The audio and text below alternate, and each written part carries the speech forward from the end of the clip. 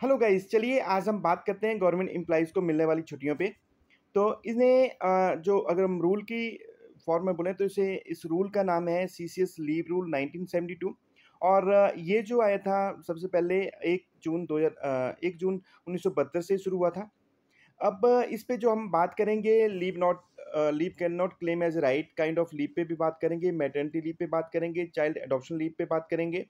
Leave to the contact employees उस पर भी हम चर्चा करेंगे और शॉर्ट लीव जो होती है जो हम दो घंटे के लिए या तीन घंटे के लिए अप्लाई करते हैं कैजुअल लीव को तो जिसे हम शॉर्ट लीव बोलते हैं तो क्या वो मिलनी चाहिए कि नहीं मिलनी चाहिए? स्टडी लीव इन पॉइंटों पर हम थोड़ी थोड़ी डिस्कशन आज की इस वीडियो में करने की कोशिश करेंगे।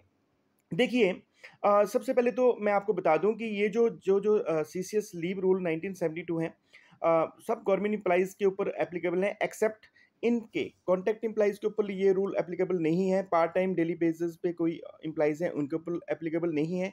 आई के ऊपर ये रूल एप्लीकेबल नहीं है क्योंकि इनके अपने रूल हैं और रेलवे इम्प्लाइज के लिए भी ये रूल जो है वो एप्लीकेबल नहीं है।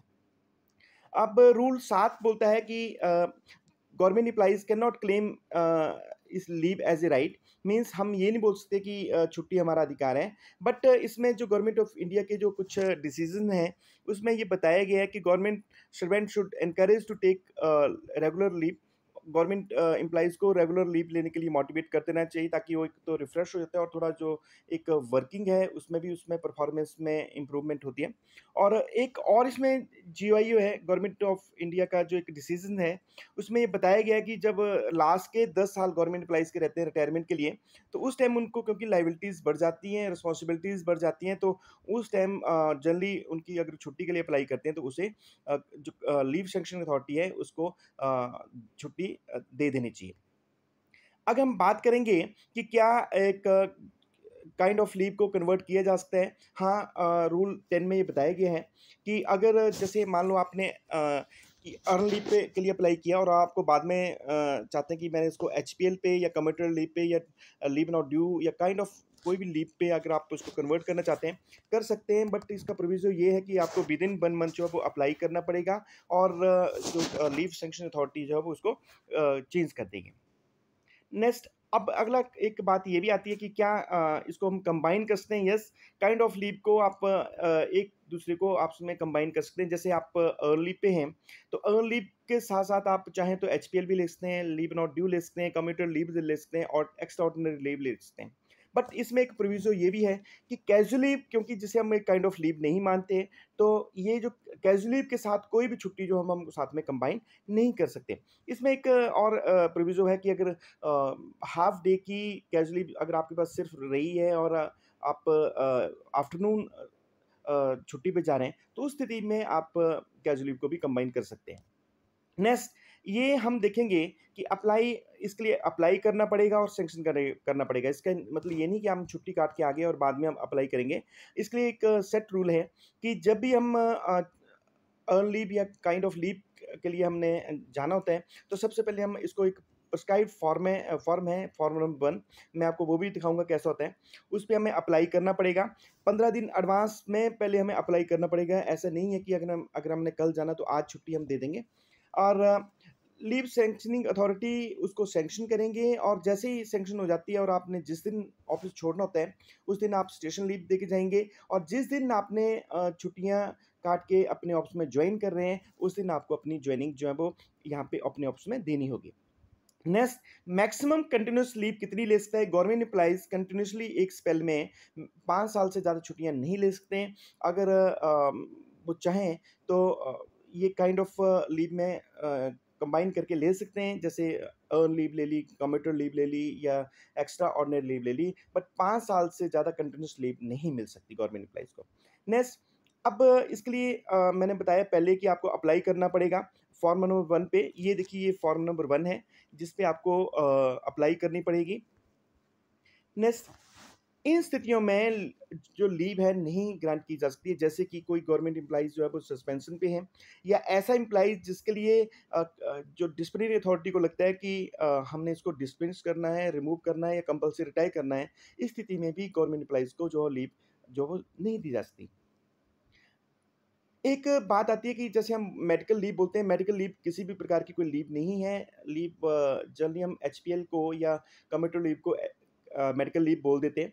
बट मेडिकल लीव उसे हम नहीं बोलेंगे। मेडिकल लीव का मतलब ये है कि यहाँ पे कि मेडिकल सर्टिफिकेट पे जब आप कोई लीव लेते हैं, उसे हम मेडिकल सर्टिफिकेट के थ्रू ले सकते हैं। अगर आप तीन दिन तक कोई ऐसी मेडिकल सर्टिफिकेट पे कोई अगर लीव लेना चाहते हैं तो आप ले सकते हैं। उसमें मेडिकल सर्टिफिकेट देने की ज़रूरत नहीं है एच पे। और बट इसमें एक और प्रोविज़न है कि सात दिन से इंस्ट्रक्शन है एच स्टेट गवर्नमेंट की। कि अगर आपने सात दिन से ज़्यादा मेडिकल सर्टिफिकेट पे अपने लीव पे जाना है तो एट तो आपको जो ये जो सर्टिफिकेट है, ये गवर्नमेंट डिपार्टमेंट से गवर्नमेंट हॉस्पिटल से जो सर्टिफाई होना चाहिए। अगला जो क्वेश्चन है कि combination of leave with holidays क्या हम ये जो लीव्स हैं, मैंने बताया कि कैजुअल लीव के साथ तो कंबाइन नहीं कर सकते हैं। क्वेश्चन ये आता है कि क्या ये जो हॉलीडेज़ हैं, जैसे सेकंड सैटरडे संडे या फिर कोई और जो हॉलीडे हैं, क्या उसके साथ ये जो लीव हैं कंबाइन की जा सकती है? यस ये जो है अगर आपकी प्रिफिक्स और स्विक्स जो है इसको किया जा सकता है।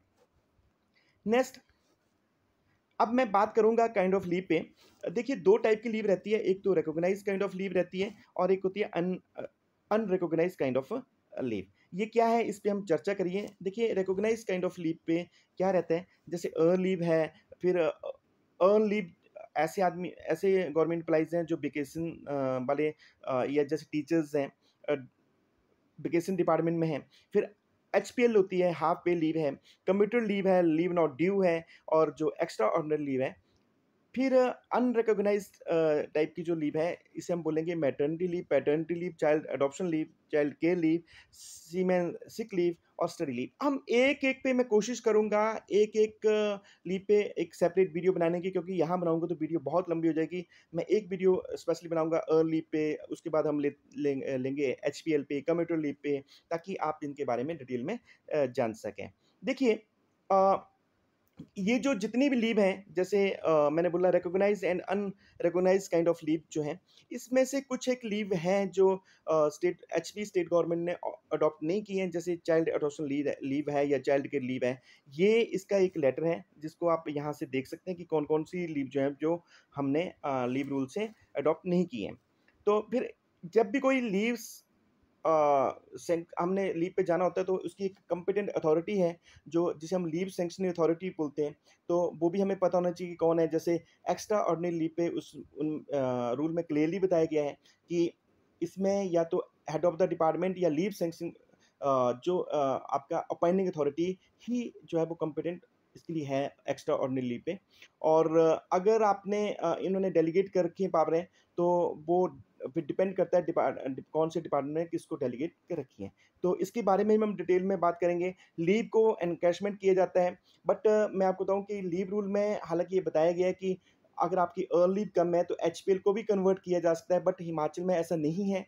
उस पर भी मैं डिटेल में चर्चा करूँगा कि सिर्फ़ जो अर्न लीव है उसे ही कम्यूट किया जा सकता है। और उसे ही हम लीव एनकैशमेंट कर सकते हैं। एचपीएल को कन्वर्ट नहीं कर सकते कई बार क्वेश्चन आता है कि सपोज़ करो कि रिवाइज होती हैं बाद में तो क्या इसको हम पे स्केल रिवाइज होते हैं तो क्या इसको हम रिवाइज कर सकते हैं कि नहीं कर सकते हैं उसके ऊपर भी हम चर्चा करेंगे। आ, अभी मुझे लगता है कि मैं ज़्यादा इस पर चर्चा करूँगा तो वीडियो लंबी हो जाएगी। आ, मैं ये आपसे जानना चाहूँगा कि जो पैटर्निटी लीव पंद्रह दिन की लीव रूल के अकॉर्डिंगली गवर्नमेंट एम्प्लॉज़ को मिलती है तो मेरा क्वेश्चन ये है कि क्या ये जो कॉन्टैक्ट के एम्प्लॉज़ हैं क्या इनको भी पैटर्निटी लीव मिलती है? अगर आपको लगता है हाँ तो ऑप्शन एक पे क्लिक करके और यस लिखें। और अगर आपको लगता है कि नो तो ऑप्शन दो आप कमेंट बॉक्स में लिखें। और इसी तरह अगर आप, मुझे लगता है पार्टिसिपेट करते रहेंगे तो एक तो आपका भी नॉलेज बढ़ेगा और मेरी भी मोटिवेशन बनी रहेगी इन्हीं शब्दों के साथ मैं कोशिश करता हूँ कि आपको लेटेस्ट अपडेट देता रहूँ। अगर आपको अच्छा लगे तो मेरे चैनल को एच पी नोटिफिकेशन बाई संख्यान मेरा चैनल है। उसको सब्सक्राइब ज़रूर करें ताकि हर नोटिफिकेशन आपके पास पहुँचते रहे। और ये बेल आइकन है, इसे ज़रूर क्लिक करें ताकि जल्दी से जल्दी मेरी नोटिफिकेशन आपके पास पहुँच जाए। वीडियो अच्छी लगे तो लाइक और शेयर ज़रूर करिए। और अगर आपकी कोई क्वेरी है या आप किसी टॉपिक पे वीडियो चाहते हैं या कोई, आप चाहते हैं कि उस पर आपको अभी भी कुछ जानना चाहते हैं तो कमेंट बॉक्स में ज़रूर लिखें ताकि मैं आपको उसके ऊपर वीडियो या जो अपनी ओपिनियन जो वो दे सकूँ। इन्हीं शब्दों के साथ की watching H P notification by संख्या जय हिंद, जय हिमाचल।